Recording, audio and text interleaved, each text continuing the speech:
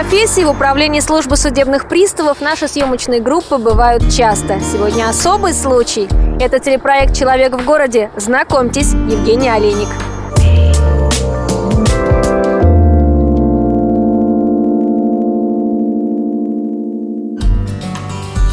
Сегодня отличный день для прогулки. По залитой солнцем аллее, улыбаясь, идет красивая длинноногая женщина. Прохожие с удивлением косятся на видеокамеру, даже не догадываясь, это и правда редкий момент, чтобы в разгар рабочего дня увидеть неспешно идущую Евгению Олейник. Нет, скорее в обед. Одной рукой ешь, второй по клавиатуре, чтобы все успеть. На свете существует множество профессий, которые, по мнению мужчин, совершенно не свойственны прекрасной половине человечества. Если мы давно привыкли видеть женщин-врачей, учителей, менеджеров и так далее, то, например, женщина-автослесарь или водитель такси до сих пор вызывают как минимум удивление. А женщины в погонах? Ведь никто и не скажет, что пальто нашей улыбчивой героини скрывает форму. Она выбрала очень непростую специальность. Смотрите. Здравствуйте. Железнодорожный. Спасибо. Сейчас собираемся ехать на исполнение, то есть, соответственно, нужно подготовиться, нужно подготовить э, различные требования, акты совершения, предупреждения для руководителя, ну и сами исполнительное производство, чтобы знать, куда ехать. В эту непростую службу Евгения пришла почти 10 лет назад. Вот только сразу стать приставом-исполнителем не получилось. Не поверите, из-за юного возраста. В самой службе работаю с февраля 2004 года в роли делопроизводителя, а судебным приставом с марта 2005 года. Настойчивость у нее от мамы, она тоже работала в управлении. А вот жесткая струнка скорее от папы.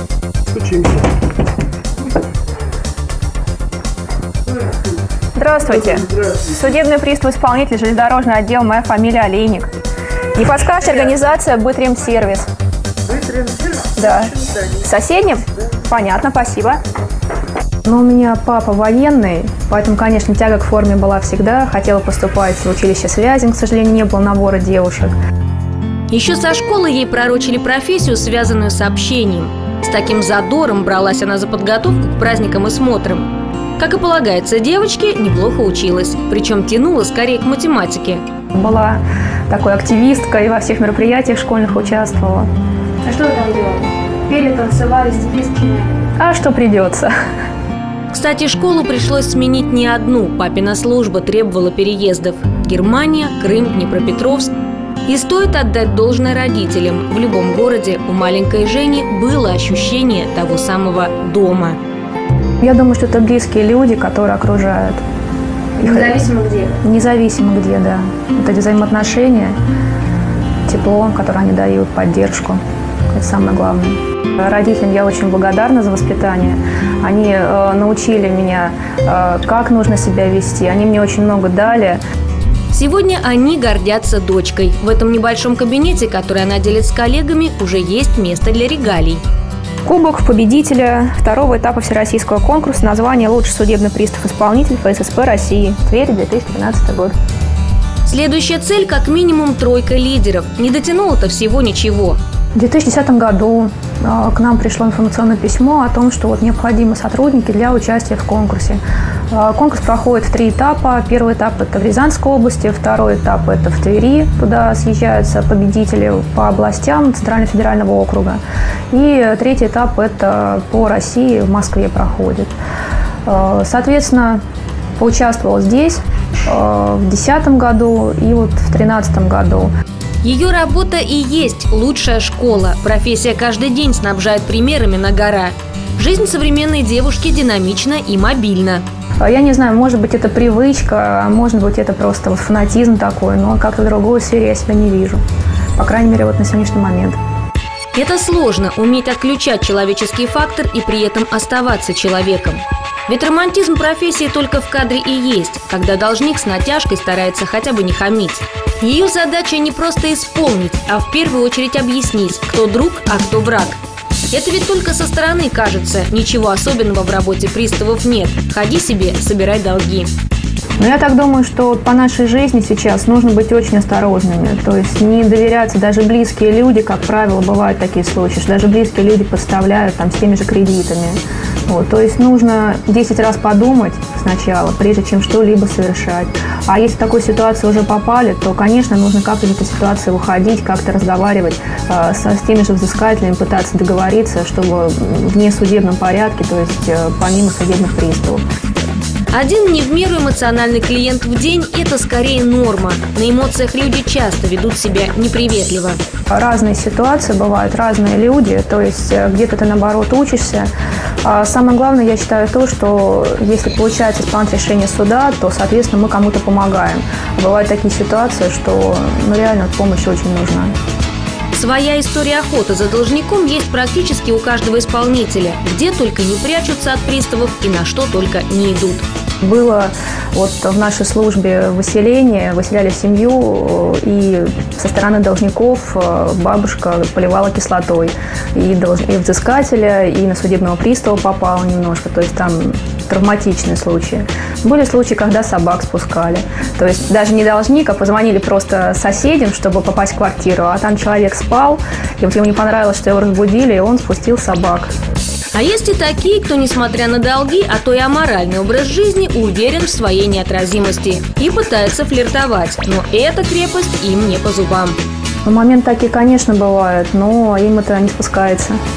Вот только не стоит думать, что женщинам в принципе, а тем более красивым живется проще.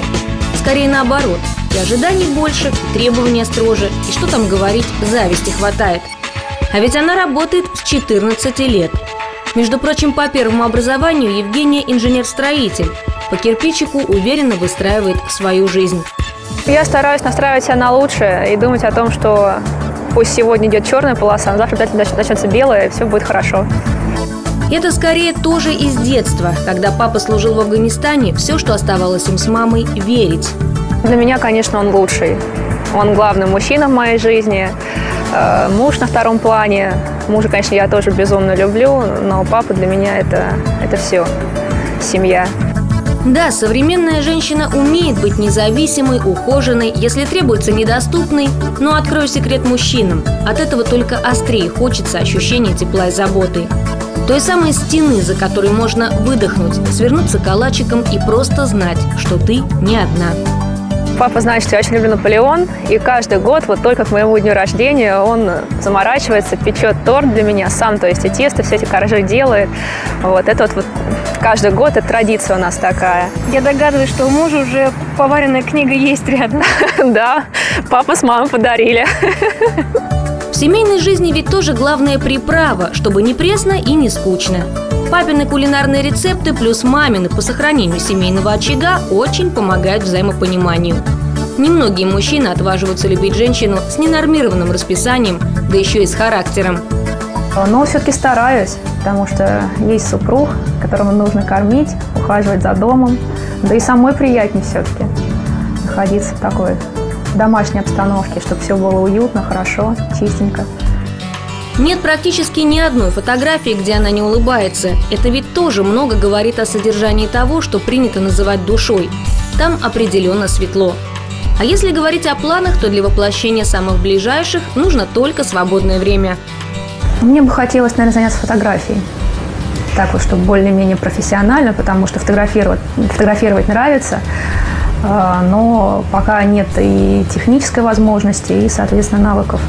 Но учимся, стараемся. В выходные у нас веселая компания, дружно, такая легкая на подъем, поэтому, да, стараемся куда-то выезжать.